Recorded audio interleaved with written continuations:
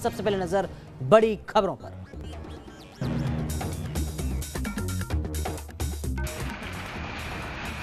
महाराष्ट्र से लेकर मध्य प्रदेश तक बारिश के बाद सैलाब का कहर। जगह जगह हुए हादसे। सीहोर में बचाए गए कार सवार। छत्तीसगढ़ में बाढ़ के पानी में डूबी सड़कें।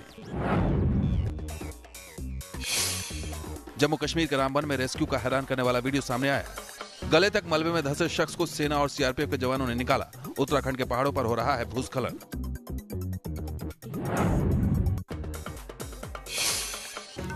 उन्नाव गैंगरेप पीड़ित के हादसे की जाँच करने रायबरेली में घटनास्थल पर पहुँची सीबीआई की टीम। पीड़िता की सुप्रीम कोर्ट को लिखी चिट्ठी पर कोर्ट ने मांगी यूपी सरकार से रिपोर्ट। कल होगी सुनवाई, समाजवादी पार्टी ने किया प्रदर्शन।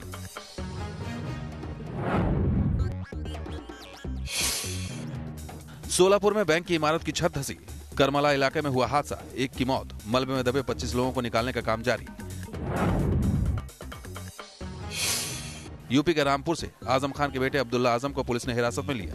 अली जौहर यूनिवर्सिटी में छापे मारने गई पुलिस से बदसलूकी का आरोप कल यूनिवर्सिटी से मिली थी चोरी की 2000 किताबें।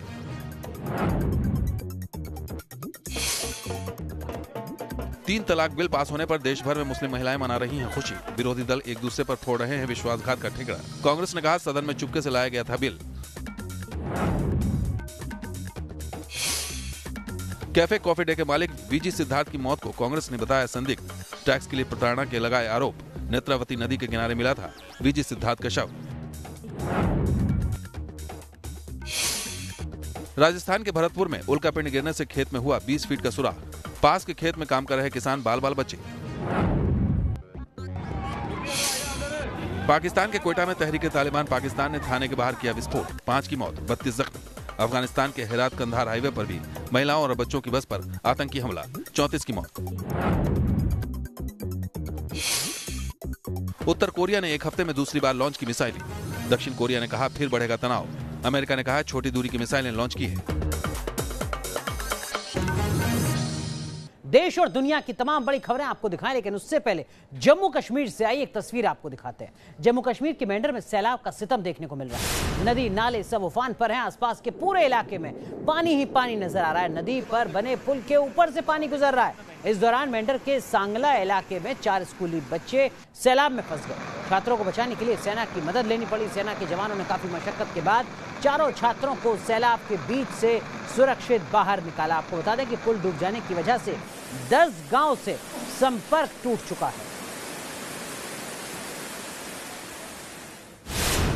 जम्मू कश्मीर के बाद अब बात करते हैं उत्तर प्रदेश की। उत्तर प्रदेश में आज़म खान के खिलाफ लगे आरोपों पर एक्शन क्या शुरू हुआ? पूरी समाजवादी पार्टी सड़क पर उतर गई। आज़म खान के खिलाफ ज़मीन कब्जाने के आरोपों को लेकर यूनिवर्सिटी में चोरी की किताबें रखने के आरोप भी लगे हैं। आज पुलिस की छापेमारी के दौरान जब आज़म खान के बेटे अब्दुल्ला आज़म ने बदसलूकी की तो पुलिस ने उन्हें हिरासत में ले लिया। उसके बाद लखनऊ से जो तस्वीरें उपद्रव की दिखी, वो वाकई हैरान करने वाली थी।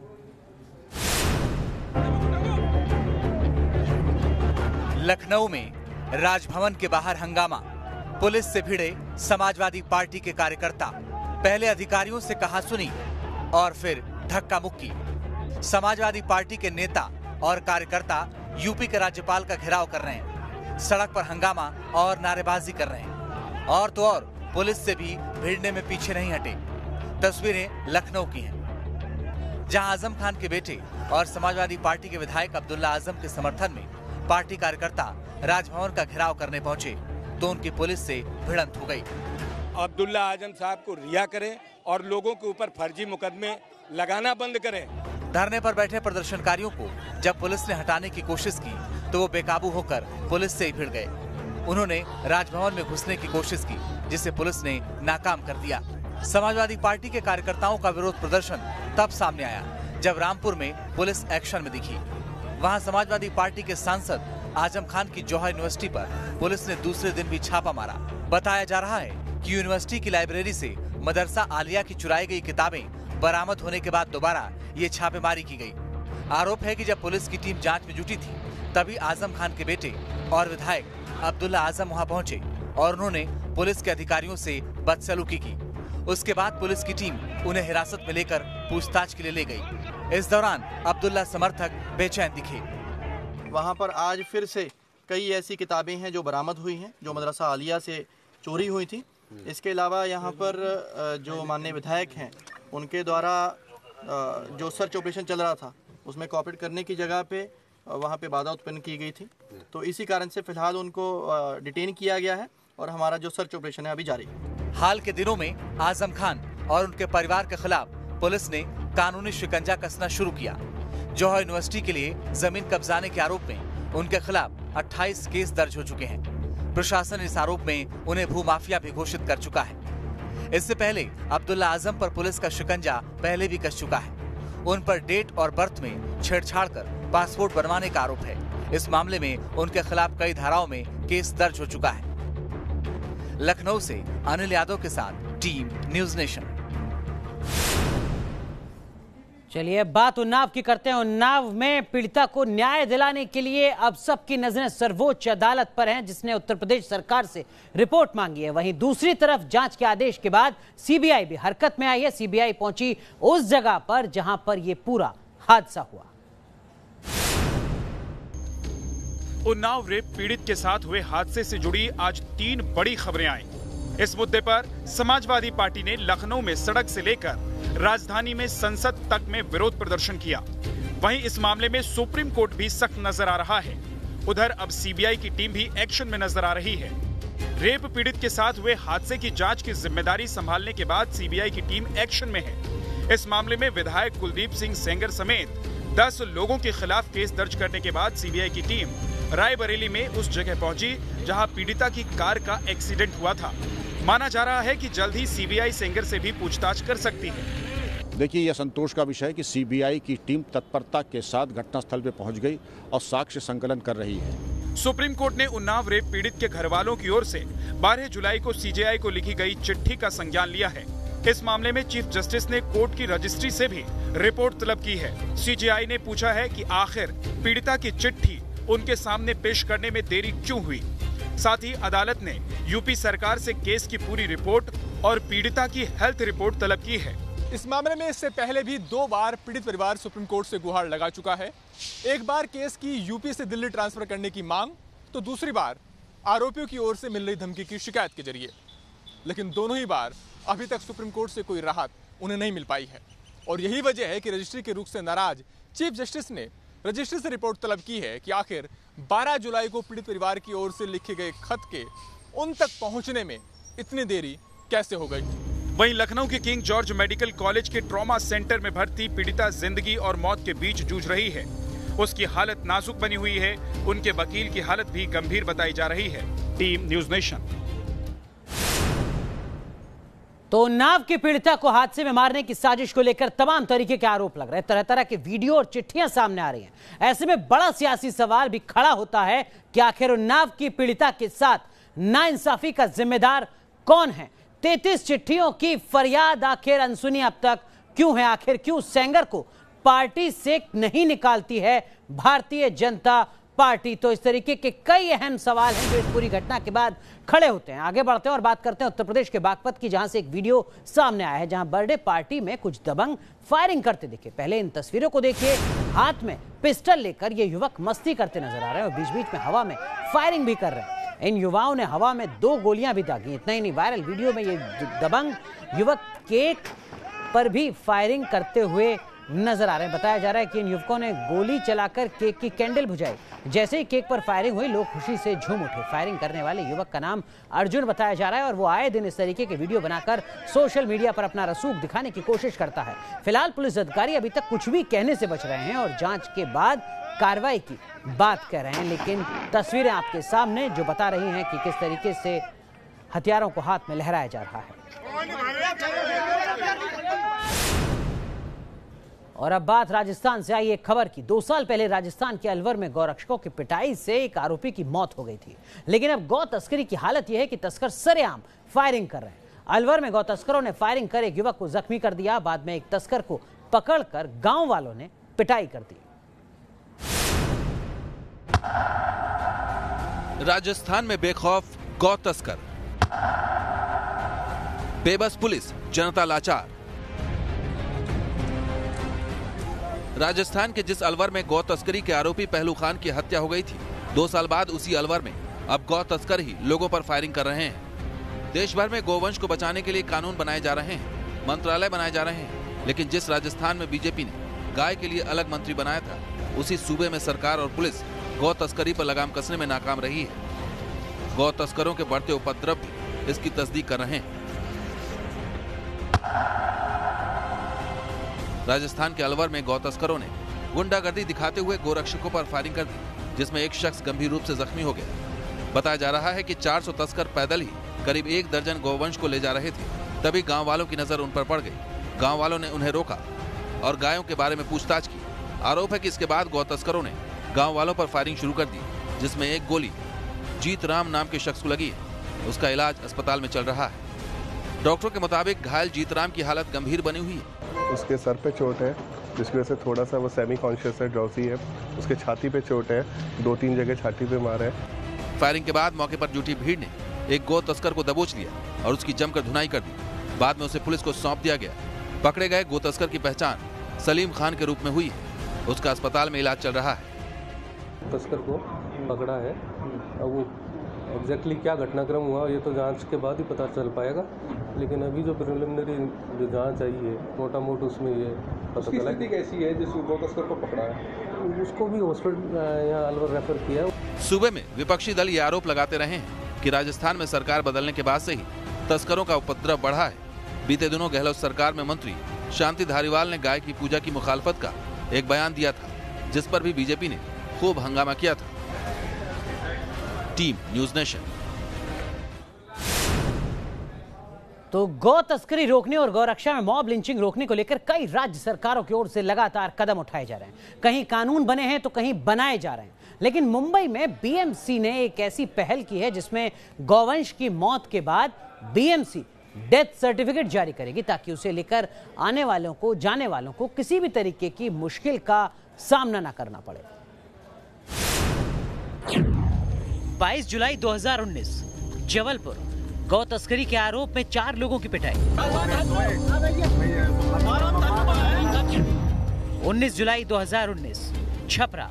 पशु चोरी के आरोप में तीन लोगों की पीट पीट कर हत्या।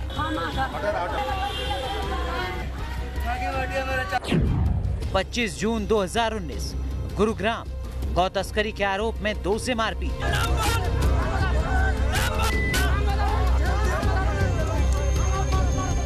हाल ही के दिनों में ऐसी कई घटनाएँ सामने आई, जिसमें गौ तस्करी के आरोप में लोगों को पीटा जा रहा है। कहीं तस्करों पर भीड़ का गुस्सा फूट रहा है, कहीं चोरी के शक में भीड़, बेलगाम हो रही है। गौ रक्षा में लिंचिंग और गौ तस्करी को रोकना राज्यों का काम है, लेकिन तमाम कोशिशों, तमाम दावों के बावजूद, न तो लिंचिंग की घटनाएँ थमने का नाम ले रही हैं, और न ही कानून बनने के बाद गौ तस्करी का सिलसिला थमा है।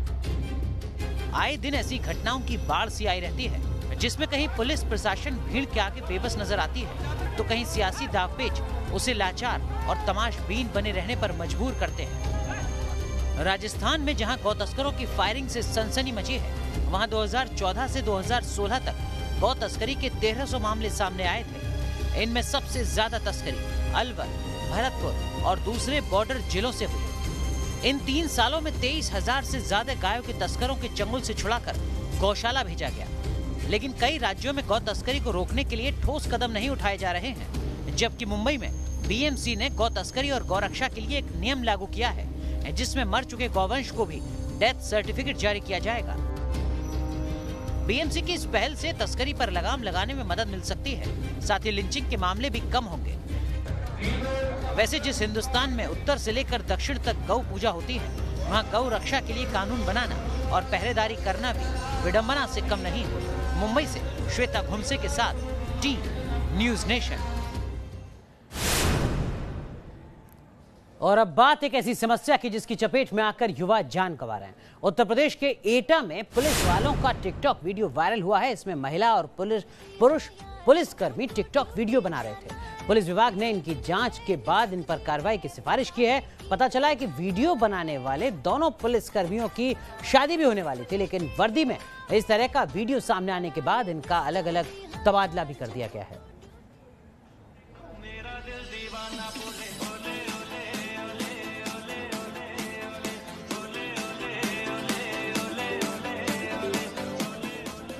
तेरा तू समझ ले, तू चाहे मेरे हक की ज़मीन रख ले, तू सांसों पे भी नाम चलिए, उत्तर प्रदेश पुलिस के बाद अब बात करते हैं इंडियन एयरफोर्स की, जिसने अपना वीडियो गेम लॉन्च कर दिया है। इस गेम का नाम Indian air force a cut above है। Air chief marshal V S Dhanoa ने इस गेम को आधिकारिक तौर पर लॉन्च किया। इंडियन एयरफोर्स के इस गेम का मकसद युवाओं को भारतीय वायुसेना के बारे में जानकारी देना और उन्हें एयरफोर्स ज्वाइन करने के लिए प्रोत्साहित करना है। इसे गूगल प्ले स्टोर के साथ एप्पल स्टोर से भी फ्री में डाउनलोड किया जा सकता है।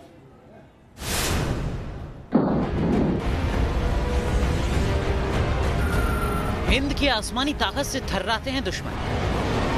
बालाकोट स्ट्राइक और अभिनंदन के शौर्य से अब भी पाकिस्तान सदमे में है। हिंदुस्तान के इसी शौर्य को बच्चे बच्चे तक पहुँचाने और वायुसेना के सुनहरे इतिहास को बताने के लिए इंडियन एयरफोर्स ने अपना एक आधिकारिक मोबाइल गेम लॉन्च कर दिया है। वीडियो गेम आपको बताएगा कि आसमान में कैसे उड़ते हैं। हिंदुस्तान के वायुवीर, कितनी ऊंचाई और किस स्पीड से उड़ान भरकर दुश्मनों को खाक में मिलाते हैं? हमारे जो बाल हैं जो बच्चे हैं वो हमारी इस दुनिया की सबसे बड़ी, बहुत ही महत्वपूर्ण सेवा में राष्ट्रभक्ति के इस ख्वाब से, उस विचार से, उस मिशन से यहाँ उसमें भर्ती हो सके और उसकी उनको जानकारी मिल सके। भारतीय वायुसेना के मोबाइल ऐप में यूज़र्स को थ्रिलिंग फ्लाइंग एक्सपीरियंस मिलेगा। फ़्लाइट को टेक ऑफ़ और लैंडिंग करने के अनुभव के साथ ही हवा में डॉग फाइट करने का मिशन भी गेम में शामिल है। यानी दुश्मन के जहाज़ को हवा में मार गिराने का टास्क होगा। जिस तरह बालाकोट में आतंक के अड्डों को तबाह किया गया था, ठीक उसी तर्ज पर गेम खेलने वाले मिशन को अंजाम तक पहुँचाने का रोमांच महसूस कर सकेंगे। इंडियन एयरफोर्स का ऑफिशियल मोबाइल गेम एंड्रॉइड और आईओएस प्लेटफॉर्म पर फ्री में डाउनलोड किया जा सकेगा। इस गेम में 10 मिशन होंगे और यहाँ ट्रेनिंग भी होगी। ये गेम मोबाइल के लिए तैयार किया गया है और इसमें कई मोड दिए गए हैं। इसमें ट्रेनिंग सिंगल प्लेयर और फ्री फ़्लाइट शामिल है। इसके साथ ही इस गेम में इंडियन एयरफोर्स के बारे में भी बताया गया है। इस गेम को खेलने पर प्लेयर्स को एयरफोर्स पायलट और एयर कॉम्बैट का शानदार वर्चुअल एक्सपीरियंस मिलेगा। ये ऐसी सर्विस है जो टोटली स्किल बेस्ड है। आपको पता है, आप कितने अच्छे हो, औरों को भी पता है। जैसे डॉक्टर्स होते हैं डॉक्टर्स कभी पब्लिसिटी नहीं करते हैं बट लोगों को पता होता है वो कितना अच्छा डॉक्टर है। उसी तरह एयरफोर्स भी एक स्किल बेस्ड सर्विस है। आपको अपने स्किल बढ़ाने हैं, आपकी उतनी ही इज़्ज़त होगी। दरअसल भारतीय वायुसेना का इस गेम को लाने के पीछे का मकसद मनोरंजन के साथ साथ भारतीय वायुसेना के प्रति नौजवानों को आकर्षित करना है, ताकि वो ज़्यादा से ज़्यादा तादाद में एयरफोर्स में शामिल हो सके। इस गेम में एयरफोर्स के मिग और सुखोई जैसे विमानों का इस्तेमाल हो सकेगा, यानी गेम खेल रहे व्यक्ति को मिग और सुखोई उड़ाने और उनसे हमले का थ्रिल भी इस गेम में हासिल होगा। दिल्ली से राहुल डबास के साथ टीम, न्यूज़ नेशन। और अब बात जम्मू कश्मीर की, जहाँ अगले दो से तीन महीने के अंदर विधानसभा चुनाव की सुखबगाहट तेज हो सकती है। इसी को ध्यान में रखते हुए एक तरफ़ जहाँ मोदी सरकार आतंक के खिलाफ अपनी कार्रवाई को लगातार आगे बढ़ाने की कोशिश कर रही है तो वहीं कश्मीर की रीजनल पार्टी, खासकर महबूबा मुफ्ती, पैंतीस एक का झूठा डर दिखाकर साउथ कश्मीर में एक अलग ही मुहिम चला रही है।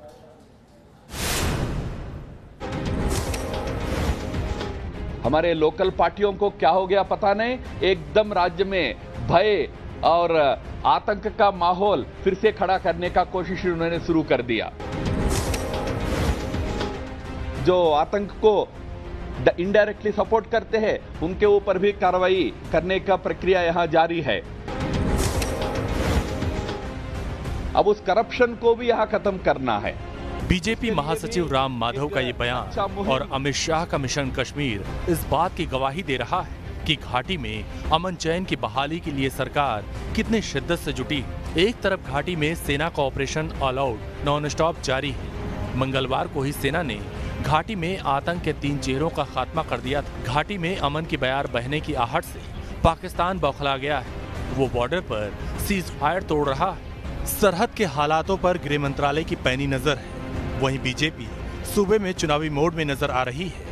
दिल्ली में बीजेपी के जम्मू कश्मीर कोर ग्रुप की बैठक हुई जिससे घाटी के हालात पर चर्चा हुई वहीं बीजेपी का दावा है कि घाटी के एक लाख मुस्लिम पार्टी से जुड़ चुके हैं जिससे बदलाव की झलक आ रही है वहीं बीजेपी के ड्राइव से डरी पीडीपी नेता महबूबा मुफ्ती ने भी अपनी पार्टी का सदस्यता अभियान शुरू कर दिया जिसमें लोगों को 35 ए पर बरगलाकर पार्टी से जोड़ने की कोशिश कर रही हैं। इस बीच सुरक्षा और जाँच एजेंसियाँ भी घाटी के गुनेगारों पर शिकंजा कसने में दिन रात जुटी हैं। एनआईए, ईडी और इनकम टैक्स डिपार्टमेंट ने मिलकर एक ज्वाइंट ऑपरेशन शुरू कर दिया जिसका मकसद घाटी में आतंकियों के हमदर्दों को ढूंढ निकालना है चाहे वो अलगाववादी हों या फिर सियासी दलों से जुड़े नेता। जो पॉलिटिकल विल है जो डिफेंस की प्रिपेयर्डनेस है उन सारे चीज़ों को मिला के जम्मू एंड कश्मीर की प्रॉब्लम को सॉल्व करने के लिए ये एक पॉजिटिव कदम है। माना जा रहा है कि ज्वाइंट ऑपरेशन के ज़रिए केंद्रीय जाँच एजेंसियाँ उन लोगों पर शिकंजा कसने में कामयाब होंगी जो किसी न किसी तरह आतंकियों की मदद करते रहे हैं। माना जा रहा है कि इससे टेरर फंडिंग पर रोक लगेगी और घाटी से आतंक को पूरी तरह खत्म करने में भी मदद मिलेगी। दिल्ली से रुमानुल्ला खान के साथ इदरीस लोन न्यूज़ नेशन श्रीनगर। चलिए अब आपको दिखाते हैं कुछ हैरान करने वाली तस्वीरें।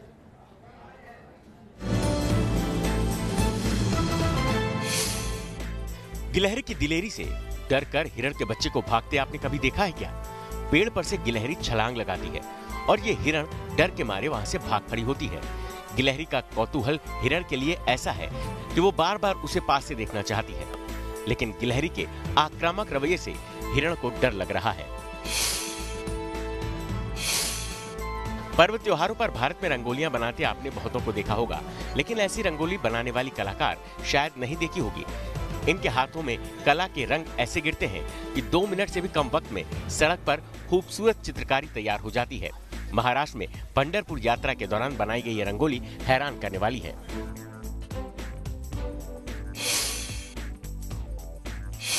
बारिश के दिनों में रोशनी पर कीट पतंगों को आते आपने देखा होगा, लेकिन लॉस वेगास में इस टिड्डी दल का आतंक छाया हुआ है। शाम को टिड्डियों का हमला ऐसा हो रहा है, जिसे देखकर बारिश का भ्रम होता है। लॉस वेगास में औसत से दोगुनी बारिश के कारण टिड्डे यहाँ देखे जा रहे हैं।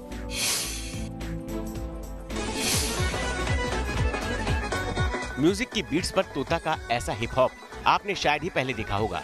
इसके मालिक की उंगलियाँ क्या थिरकती हैं? ये तोता अपने दोनों पावों को उठाकर म्यूज़िक का साथ देने लगता है।